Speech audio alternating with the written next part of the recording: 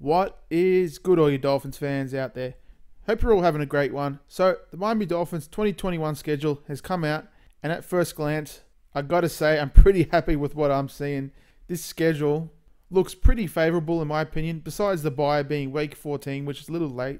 Would have rather it been, you know, around week 9 or 10, but we can live with that. But yeah, just looking through the weeks, the toughest matchups we got here is obviously the Bills, the Colts, the Buccaneers, the Ravens, and possibly the Saints. We'll see what they're going to look like without Drew Brees. But come December 27th, we're going to have an idea of, you know, where the Saints are coming up to the end of the season.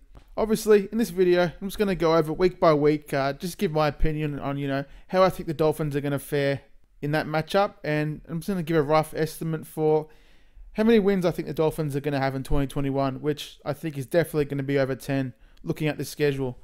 So, starting week one here, we're going to go up to play the Patriots just like last year. And hopefully, we're going to have a much better showing than how we played against the Patriots up in Foxborough last year. Last year, we were just completely flat. We had no answers for Cam Newton. And yeah, our offense and defense just really weren't clicking on all cylinders. And we really didn't have our team together at that point. But but week one here against the Patriots, I think we got a great shot to win this game. So I'm thinking it's going to be a win here week one. I think our offense and defense is going to be improved. We're going to be an even bigger juggernaut than we were last year. I mean, we weren't really an elite team in 2020, but we definitely showed the signs of, you know, being one of the best teams around. And I think 2021 is the time when I think we can really step out to the spotlight, you know, and make some noise in the AFC and in the NFL. Moving on to week two, we got a home game and we're versing the Buffalo Bills. This is definitely going to be a tough game. It can go either way we'll have to see, you know, what the Bills are going to look like at that point in week two. But yeah, I could see this game going either way. It is at home, so that definitely does help. But for now, I'm just going to come back to that game because that can go either way. And yeah, I'll add that game to my uh, win tally at the end. So week three, we got an away game, and we're playing in the brand new Las Vegas Raiders Stadium. And I think we can definitely come out with a win here in Las Vegas. Uh, last year, we went over there and beat them with a much lesser team, I think we're going to be much more dominant in 2021. So I definitely could see the Dolphins winning this. But yeah, we'll have to see what the Raiders look like.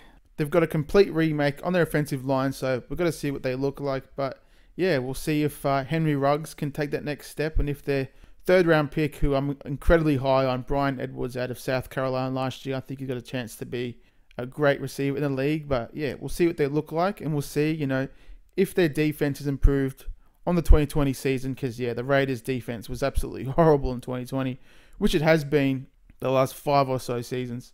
Moving on to week four here, we got the Indianapolis Colts, and just like the Bills game in week two, I could see this game going either way. I think the Colts, just like us, are going to be much improved in 2021. They got Carson Wentz coming over. We'll see how well he's going to play this year, but I think he's got a chance to definitely improve, especially hooking back up with Frank Reich as the offensive coordinator and the play caller, I think Carson Wentz, yeah, he's got a chance to return to his previous form. But I think the Colts are going to be one of the best teams in the AFC this year. And yeah, this is going to be a tough game. We'll come back to this uh, later on in the video. So, week five, we've got an away game against the Buccaneers, and this is going to be incredibly difficult. They're pretty much bringing back their entire Super Bowl team. Tom Brady's coming back. I think he's going to play the same level he did in 2020. I mean, he had 44 touchdowns last year and like eight picks or something. So he had a tremendous year. They've got everyone coming back on offense and defense. It's going to be an incredibly hard game, and I could see this being a loss for us. But you know, after four games, we'll see what we look like going up to Tampa week five. You know, because we could be playing on par with uh, Tampa, and we'll just see. You know, where we're at. You know, at that point of the season. But for now, I'm just going to count that as a loss. So week six, we're going across the pond to London and we're playing the Jaguars October 17th, week 6, which is going to be 9:30 in the morning, which I think is Eastern time, not really sure, but I can definitely see us winning this even though they added Trevor Lawrence and Travis Etienne and a bunch of great players in free agency, cornerback Shaquill Griffin and Urban Meyer as the head coach. We'll see what they're going to look like week 6, you know, they could look like a playoff team or they could look like a top 10 draft team, but yeah, I definitely can see us winning the week six game in London, and yeah, I'm confident we can do that. Week seven, we got a home game against the Falcons, and just like the Jaguars game, I'm pretty confident we can get the job done. They added Kyle Pitts to their list of great weapons. Obviously, they got Julio Jones, who I think is still the best receiver in the league, Calvin Ridley, and obviously Matt Ryan playing at quarterback. I think the offense is going to be pretty good, but their defense is still a major work in progress. So I think the Dolphins can really come out with a win here, week seven, against the Atlanta Falcons. Moving on to week eight, our second game of the season against Buffalo, and it's a away game, October 31st. Just like week two, it's going to be a tough game. It can go either way, and this is going to be a great rivalry between the Bills and Miami, the Dolphins, for a long time, with Josh Allen and Sean McDermott as head coach, and Brian Flores, you know, showing what he can do the last two years. This is going to be a great rivalry between these two teams, but being an away game, uh, just for the sake of the video, I'm going to give it to the Bills. And hopefully we can bounce back week nine against the Texans. We got a home game, and I think they're going to be one of the worst teams in the league next year, especially if Deshaun Watson isn't going to play. The Texans are definitely going to be picking top five in the draft next season because, yeah, their team is looking incredibly bleak. JJ Watt's gone. DeAndre Hopkins left a couple of years ago. This, this isn't the same team we saw three years ago, and I think it's definitely going to be a win for the Dolphins. You can definitely tick this off as a dominant win for the team week nine because I think the team is going to be more than warmed up and we're going to be clicking on offense, defense, and special teams. We're going to be tremendous this year. Moving on to week 10, this is going to be a pretty tough game. We got the Ravens at home, November 11th. It's going to be a tough game, but we'll have to see what Lamar Jackson and the Ravens look like this coming season. Who knows that they might not be the same dominant team we've seen the last two years. They might take a step back and, you know, win nine to ten games, especially if they don't stay healthy or, you know, or if Lamar Jackson possibly has a major injury. He did he did injure his knee last year, so there's a chance he could possibly, you know, miss some more time in 2021. But yeah, it's going to be a tough game. I'll come back to this uh, later on. So on to week 11, our first game of the season against the Jets, November 21st, and we're going up to New Jersey to play Zach Wilson and Robert Saleh and all those guys. Uh, thank God Adam Gase is out of the league because, I mean, I couldn't stand seeing the guy on the sidelines and his press conferences. I couldn't help but listening to his press conferences just to see how much of an idiot he really is, just how much of a arrogant and ignorant prick he is. And yeah, he didn't disappoint, but they're a brand new remade team, and we'll just have to see what they look like at this point in the season. I definitely could see them improving on their 2020 season. They had a pretty good draft. They got Zach Wilson, Alijah Vera-Tucker to protect him, Elijah Moore, the wide receiver from Ole Miss. They signed Corey Davis, wide receiver from the Tennessee Titans. They got a real chance here to improve, and yeah, we'll see what Zach Wilson looks like here week 11. But I definitely could see us getting the win there against the Jets week 11. So on to week 12. We got the Panthers at home, and I think this could be another definite win for us. We'll see what Sam Darnold looks like here in his fourth year. I think he's going to play much better than he did his first three seasons with the Jets, especially with Joe Brady calling plays and Matt Rhule. I think Matt Rhule's the real deal. I think he's going to be a great head coach in the league. But yeah, we'll just have to see what the Panthers look like here week 12. But being at home, I definitely could see us winning this. So on to week 13, we got a home game against the New York Football Giants. Um, this could be a pretty tough game, especially if everything you know starts to come together for the Giants. Uh, if Daniel Jones starts to play a lot better, if Saquon Barkley can stay healthy, and if the additions of you know Kenny Golladay and Kadarius Toney in the draft, you know, make a huge difference for them definitely could see them winning, you know, eight to nine games this season. But being at home, I could see us getting the win here. And I think this is going to be a great matchup here in week 13. We've got two ex Belichick disciples going against each other, Brian Flores and Joe Judge. I think they're both the real deal. I think Joe Judge is a hell of a coach. It's going to definitely work for him up there with the Giants because he's a hard worker. And just like Coach Flo, he knows how to use his players and he knows how to stay competitive in football games. I definitely could see this being a competitive uh, game against the Giants. But I think this is going to be one of the wins for us. So week 14, we've got a bye. It's a little late in the season, but it's going to give us a great chance here to rest for these last four games. The last four games in December and January. And yeah, it's going to give us a chance to recharge, get ready for the last quarter of the season, and hopefully, you know, get prepared and get healthy uh, going into the postseason. Hopefully, we're going to be a playoff team this year. I'm confident we are.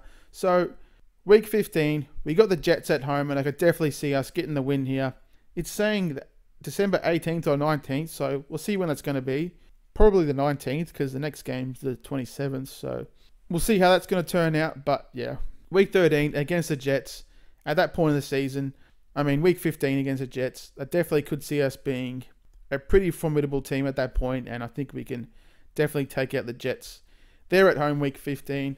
On to week 16, we got a away game December 27th against the Saints. Uh, we'll see what the Saints are going to look like. Like I said at the beginning of the video, who knows what they're going to look like without Drew Brees. They definitely have proven to be able to win games without Drew Brees under center because they're a very deep team. They're incredibly well coached with Sean Payton and all those other guys on the coaching staff. I think they're going to be a pretty good team, but yeah, I think they're going to take a step back and not be the same dominant Saints we've seen the last four years. I mean, the Saints were great in 2017, 2018, 2019.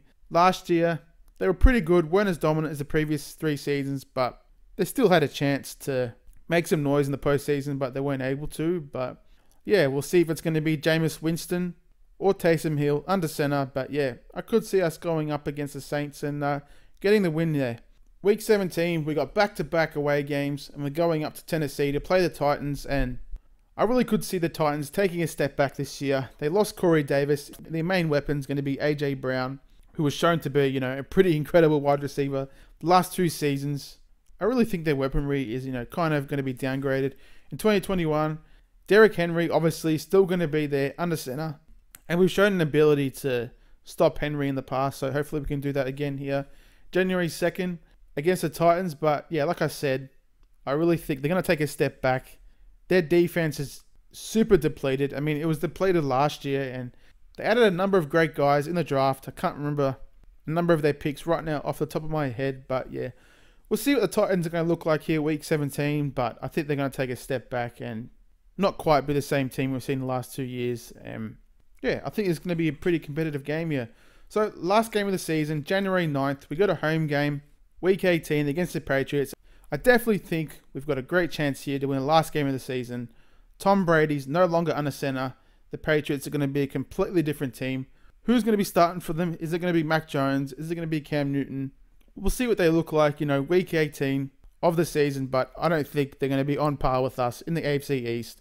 I think by week 18, the Dolphins will have proved themselves as, you know, one of the best teams in the AFC, and I think that we're definitely going to get a win here, week 18 against the Patriots at home. So when looking back over the schedule, I definitely could see us going, you know, 12 and 5. I think that's very realistic when you see the way we performed last year with Ryan Fitzpatrick and Tua under center. I think Tua is definitely going to improve this year. We got guys like Jaylen Waddle and Will Fuller in the lineup now, and I think that's going to transform this offense. We added Jaelan Phillips and Jevon Holland on defense to our already dominant defense we saw last year. So I think our defense is going to be one of the best in the league. We're going to absolutely suffocate teams this coming season. I'm very confident of that, and I think we can win 12 or 13 games. I'm confident we can get that done if we stay healthy.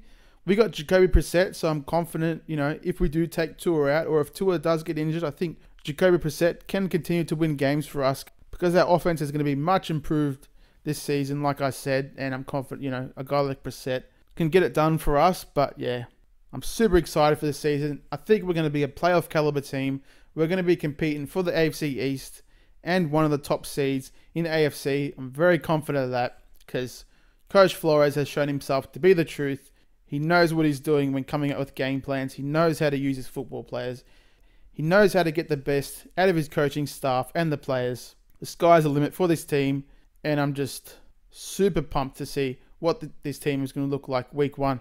So that's it for this video, guys. Uh, let me know what you think of the Dolphins' schedule. Give me a record prediction. How do you think the team's going to fare this season? Uh, let me know what you thought of my thoughts on the schedule. Don't forget to hit that like and subscribe button. And as always, it's fins up, baby. Cheers, folks. Cannot wait for September 12th.